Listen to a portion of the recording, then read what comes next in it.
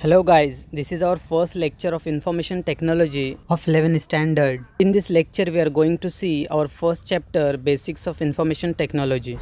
And here are the contents of today's lectures. In start I will discuss what actually the computer system is. Computer system क्या होती है उसके कौन कौन से parts होते हैं और उन parts की क्या functionality होती है Then I will discuss information technology कि information technology क्या होती है और किस तरह हम किसी भी इंफॉर्मेशन को from one computer to another transfer कर सकते हैं okay. After that digital convergence will be discussed and in the end we will have a review of this lecture. Now we start with the definition of computer. Computer is an electronic device that takes some data as input process it according to given instructions and gives information as output which can be stored temporarily and permanently for the future use. Guys आपको screen पर एक diagram नज़र आ रही है, जिसमें computer के four basic unit को बताया गया है।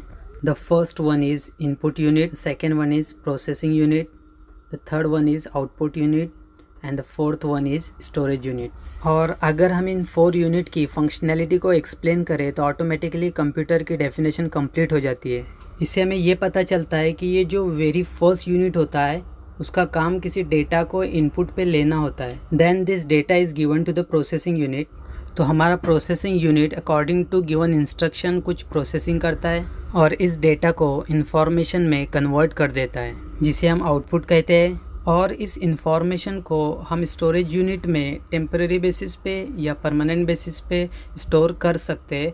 फॉर द फ्यूचर यूज़ तो ये हमारे पास एक मॉड्यूलर डेफिनेशन है कंप्यूटर की और इन अ सिंपलेस्ट वे हम ये कह सकते हैं कि computer is an electronic machine which converts data into information हर वो मशीन जो डेटा को इन्फॉर्मेशन में कन्वर्ट करती है, उसे कंप्यूटर कहा जाता है। Now we have to understand what actually the data and information are तो डेटा की डेफिनेशन हम देखते हैं collection of raw facts and figures is called data guys ये जो रॉ फैक्ट्स एंड फिगर्स जो होती है वो नंबर्स को कहा जाता है? इस तरह के नंबर्स और डिजिट जिनकी कोई मीनिंग नहीं है, जो मीनिंगलेस है, या रॉ फॉर्म में है, या बिफोर प्रोसेसिंग है, यानी हमने अब तक उसको कंप्यूटर में इंटर नहीं किए, और अगर किए भी है तो अब तक प्रोसेसिंग नहीं हुई है। तो इस तरह के फैक्ट्स को डेटा का नाम दिया जाता है। And every organization has its own specific data like if you talk about a bank तो बैंक के पास अपने अकाउंट होल्डर्स का डेटा होता है। If you talk about a university वो एक यूनिवर्सिटी स्टूडेंट के डेटा को मेंटेन करती है। और इसी तरह अगर कोई हॉस्पिटल है तो वो पेशेंट के डेटा को मेंटेन कर रहे होते हैं। इससे हमें यह पता चला कि हर ऑर्गेनाइजेशन का अपना एक स्पेसिफिक डेटा होता है, जिसे वो प्रोसेस करते हैं और रिक्वायर्ड इन्फॉर्मेशन को गेट करते हैं। Data is use to perform certain operation in an organization. किसी भी ऑर्गेनाइजेशन की जो फंक्शनैलिटी होती है, वो उसके डेटा पे डिपेंड कर रही होती है। यानी उसके डेटा पे प्रोसेसिंग की जाती है और वो अपने रिक्वायर रिजल्ट्स को गेट करते हैं। और इसीलिए कहा जाता है कि this data is collected from multiple sources like अगर हम एक पेशेंट इन्फॉर्मेशन सिस्टम की बात कर रहे हैं तो एक हॉस्पिटल पेशेंट से अपना डेटा कलेक्ट करती है। एक यूनिवर्सिटी आफ्टर एग्ज़ाम्स स्टूडेंट से जो है अपना डेटा कलेक्ट करती है। इससे ये पता चला कि हर ऑर्गेनाइजेशन ने जब उसे डेटा को कलेक्ट करना है तो उसके मल्टीपल सोर्सेज अवेलेबल हो सकते हैं। And this data gives the status of past activities and enables us to make better decision क्योंकि जो डेटा होता है, वो किसी न किसी पास्ट एक्टिविटी को रिप्रेजेंट करता है। लाइक like अगर स्टूडेंट एग्ज़ाम देता है तो एग्ज़ाम्स के जब रिज़ल्ट आते हैं तो उनमें कुछ नंबर्स होते हैं। तो वो नंबर जो है जब तक हम उस पर कोई प्रोसेसिंग नहीं करते, वो डेटा ट्रीट होता है। और ये डेटा रिप्रेजेंट करता है कि स्टूडेंट ने पेपर दिए थे या पेपर को अटैम्प्ट किया था। और ये डेटा जो है, वो किसी भी सिस्टम के लिए इनपुट बनता है। जैसे कि हमने लास्ट स्लाइड में डायग्राम में देखा। और हमारा कंप्यूटर सिस्टम इस डेटा इनपुट को इन्फॉर्मेशन आउटपुट में कन्वर्ट कर देता है। And this data does not have any specific sequence और ऑर्डर क्योंकि ये मीनिंगलेस होता है। इसलिए हम इसमें किसी सीक्वेंस या ऑर्डर को प्रेफर नहीं करते हैं। And this data can either be text, number, image, audio or video. Or anything which can be given to the computer for processing is called data. और आप ये देखिए कि हम मेजरली जो भी कंप्यूटर को प्रोवाइड करते हैं या तो वो टेक्स्ट फॉर्म में होता है या वो कुछ नंबर्स होते हैं या वो इमेज प्रोसेसिंग में कोई इमेज हो सकती है या हम ऑडियो को इनपुट में देते हैं या किसी वीडियो को इनपुट में इंटर किया जा सकता है। तो data can either be of all these options input devices are use to provide data to the computer for processing और इस डेटा को जब कंप्यूटर में एंटर किया जाता है तो कोई ना कोई इनपुट डिवाइस यूज़ की जाती है। लाइक like, अगर मैं कॉमन इनपुट डिवाइसेस की बात करूँ तो माउस है और हमारे पास कीबोर्ड है। ये वो डिवाइसेस है जिसके थ्रू आप सिंपल डेटा टेक्स्ट और नोमरिक फॉर्म वाला इंटर कर सकते हैं। इसी तरह स्कैनर को यूज़ किया जा सकता है इमेज के लिए। ऑडियो के लिए हम माइक यूज़ करते हैं और वीडियो के लिए हम कैमरा यूज़ करते हैं। और ये कुछ एग्जांपल्स है हमारे पास, जैसे न्यूमेरिक डेटा किसी इन्वेंट्री कंट्रोल सिस्टम के फिगर्स को कहते हैं या फिर किसी टेस्ट के स्कोर को कहते हैं। और नॉन न्यूमेरिक में किसी पर्सन का नेम आ सकता है या उसका एड्रेस आ सकता है। तो all this kinds of information when entered into the computer will be treated as data and after processing इस डेटा को इन्फॉर्मेशन में कन्वर्ट किया जाता है। Now comes the definition of information processed data is called information ये बड़ी simple सी definition है। ये वो डेटा जो कंप्यूटर में एंटर किया गया था। जब उस पर प्रोसेसिंग की जाती है तो वो इन्फॉर्मेशन में कन्वर्ट हो जाता है। ये मीनिंगफुल होता है। And it is usually the output of a process of an organization जब भी किसी ऑर्गेनाइजेशन के डेटा को प्रोसेस किया जाता है, उसकी जो भी आउटपुट जनरेट होती है, उसको हम इंफॉर्मेशन का नाम देते हैं। And information can be reproduce again and again जब भी किसी ऑर्गेनाइजेशन का डेटा चेंज होता है, जैसे फ्रिक्वेंटली हर साल स्टूडेंट्स चेंज होते हैं हॉस्पिटल में पेशेंट चेंज होते हैं बैंक्स में अकाउंट होल्डर्स की इंफॉर्मेशन चेंज होती है तो जब भी डेटा चेंज होता है हम रिप्रोसेस करके न्यू इन्फॉर्मेशन को गेट कर सकते हैं। Organizations use their information for decision making और क्योंकि हमारी इन्फॉर्मेशन मीनिंगफुल फॉर्म में होती है, इसके लिए इसको डिसीज़न मेकिंग के लिए यूज़ किया जा सकता है। And it has specific sequence और ऑर्डर क्योंकि ये मीनिंगफुल फॉर्म में होती है। इसलिए जो भी आउटपुट होगा, वो किसी न किसी सीक्वेंस या ऑर्डर में होगा। जो कि मीनिंगफुल होती है to the users information is dependent upon the data तो गाइज़ याद रखिए कि हमें इन्फॉर्मेशन को जनरेट करने के लिए डेटा रिक्वायर्ड होता है। जब तक हमारे पास डेटा नहीं होता, हम इस पर प्रोसेसिंग करके इन्फॉर्मेशन नहीं बना सकते। तो अल्टीमेटली हमें पता ये चला कि इन्फॉर्मेशन डिपेंड करती है डेटा पर। And it can be any type of data जिस तरह से मैंने आपको बताया था कि data text numeric image audio video इनमें से कोई भी टाइप का हो सकता है। इसी तरह जो इन्फॉर्मेशन होती है इनमें से किसी टाइप की हो सकती है। और इसका रीज़न ये है कि जब हम किसी इमेज को प्रोसेस करते हैं तो आउटपुट में हमें इमेज ही आता है। अगर हम टेक्स्ट और नंबर पे प्रोसेस करते हैं तो आउटपुट में सेम रिज़ल्ट ही आता है। तो information can be any type of data और इसके एग्ज़ाम्पल ये है कि after processing on the numbers of the students हम स्टूडेंट का ग्रेड कैलकुलेट करते हैं। तो this grade represent information about any particular students all this kinds of data can be treated as information क्योंकि इस पर प्रोसेसिंग हो जाती है और ये मीनिंगफुल होता है। नेक्स्ट गाइज़ ये देखिए बेसिक फ़ंक्शंस ऑफ़ कंप्यूटर ये इसके फोर फ़ंक्शंस है, जैसे मैंने आपको लास्ट में बताया फोर मॉड्यूल्स होते हैं and each module has its specific function the first one is input the second one is processing the third one is output and the fourth one is storage और आप ये देखिए ये जो डायग्राम जो screen पर आपको दिखाई दे रहा है इसमें फोर यूनिट्स के डिवाइसेस और उनकी फंक्शनैलिटी जो है उसको बताया गया है। लाइक like इनपुट पे हम कीबोर्ड स्कैनर टाइप के डिवाइसेस यूज़ करते हैं। सीपीयू जो कि प्रोसेसिंग डिवाइस का मेजर पार्ट कंट्रोल यूनिट होता है। अरिथमेटिक लॉजिकल यूनिट होता है। इसके बाद इसके कुछ अपने रजिस्टर्ड होते हैं जो टेम्पररी मेमोरी के तौर पर काम करते हैं। इसके बाद इसका स्टोरेज यूनिट आ जाता है जहाँ पर हम अपने डेटा को टेम्पररी और परमानेंट स्टोर करते हैं।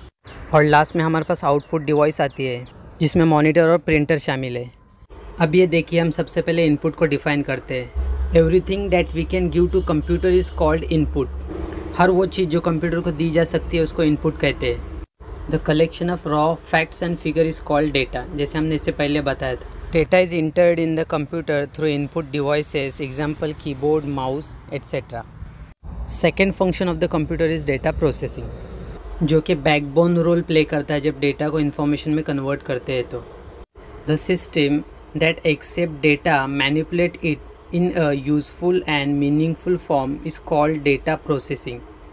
ये वो फ़ंक्शन होता है जिसमें इनपुट डेटा पे रिक्वायर्ड फंक्शनैलिटी को परफॉर्म किया जाता है और डेटा को इन्फॉर्मेशन में कन्वर्ट किया जाता है। तो इस यूनिट को हम डेटा प्रोसेसिंग कहते हैं। The operations carried out on data to convert it into useful information are called data processing.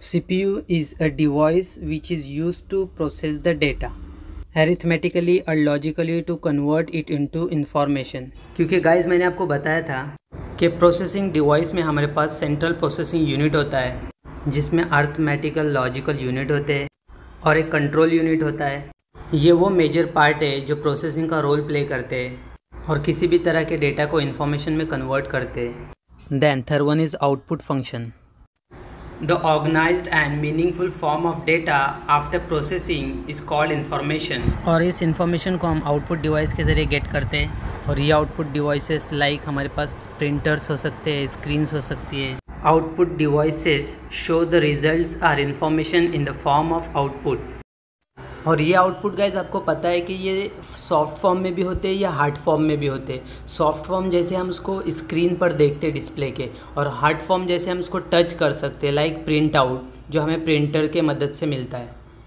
Output devices like printers monitors etcetera और लास्ट फ़ंक्शन हमारा आ जाता है स्टोरेज इसमें हम अपने इन्फॉर्मेशन को टेम्प्ररी और परमानेंट बेसिस पे स्टोर करते हैं ताकि हम उसको फ्यूचर में यूज़ कर सकें। Then comes an important definition information technology जो कि हमारे चैप्टर का टाइटल भी है। तो चलिए अब हम देखते हैं इंफॉर्मेशन टेक्नोलॉजी क्या होती है। It is a technology that combines computing with the high speed communication links that carries the data in the form of text sound images videos etcetera from one place to another in this global village guys याद रखिए ultimately अगर हमने single sentence में information technology की definition बताए तो हम कहेंगे कि इंफॉर्मेशन टेक्नोलॉजी एक ऐसी टेक्नोलॉजी है जो हमारे इन्फॉर्मेशन को one place to another place transfer करती है। और इसके डिटेल डेफिनेशन में हमने ये पढ़ा कि ये इस तरह की टेक्नोलॉजी होती है जो दो चीज़ों को कंबाइन करती है। The first one is computing and the second one is high speed communication links like like हमारे पास जो टावर्स होते हैं, और इसमें जब कैलकुलेशन की जाती है, जिसको हम कंप्यूटिंग कहते हैं तो इससे हमारा डेटा कैरी होता है। और ये कैरी होता है टेक्स्ट ऑडियो वीडियो साउंड के फॉर्म में। From one place to another open the global village इस टेक्नोलॉजी को हम इंफॉर्मेशन टेक्नोलॉजी का नाम देते हैं। The interconnection of computers enables us to send and receive information guys आपको पता है कि आजकल इंटरनेट हमारे पास सबसे बड़ा सोर्स है। जिसकी मदद से हम अपने किसी भी इंफॉर्मेशन को, चाहे वो टेक्स्ट हो ऑडियो हो वीडियो हो साउंड हो, हम easily from one corner of the world to any other corner of the world उस डेटा को ट्रांसफ़र कर सकते हैं। तो ये है हमारे पास इंफॉर्मेशन टेक्नोलॉजी की बेसिक डेफिनेशन उसके बाद गाइज़ हम लास्ट कंसेप्ट देखते हैं कि डिजिटल कन्वर्जेंस क्या होता है। In the digital convergence different types of things are converted into a digital form और गाइज़ याद रखिए कि जब हम अपने डेटा को डिजिटल फॉर्म में कन्वर्ट करते हैं तो इसका मतलब इसकी मैनिपुलेशन ईजी हो जाती है। With the help of computer इसको ट्रांसफ़र करना इजी हो जाता है। हम अपने रिक्वायरमेंट के हिसाब से रिज़ल्ट को जो है जनरेट कर सकते हैं। गैस जब हम एनी इन्फॉर्मेशन को डिजिटल फॉर्म में कन्वर्ट करते हैं और उसको सेव करते हैं इंटरनेट पे वर्ल्ड वाइड तो दुनिया की किसी भी लोकेशन से उस डिजिटल फॉर्म को एक्सेस किया जाता है। इस कंसेप्ट को कहते हैं कि digital convergence the digital convergence is the technological merger of the various industries through some electronic devices or gadgets जब भी डिफरेंट टाइप्स ऑफ़ इंडस्ट्रीज़ अपने अपने डेटा को एक्सचेंज करते हैं लाइक डिफरेंट बैंक्स अपने डेटा को एक्सचेंज कर सकती है एयरलाइंस अपने डेटा को एक्सचेंज कर सकती है यूनिवर्सिटी अपने डेटा को एक्सचेंज कर सकती है। तो जब बड़ी बड़ी ऑर्गेनाइजेशन अपने डेटा को एक्सचेंज करती है through their electronic gadget or devices और इससे होता यह है कि हमारी कोई भी इंफॉर्मेशन जो होती है, वो एक सेंट्रलाइज जगह पे कन्वर्ज हो जाती है और उसको पूरी दुनिया से किसी भी जगह से with the help of internet access किया जा सकता है।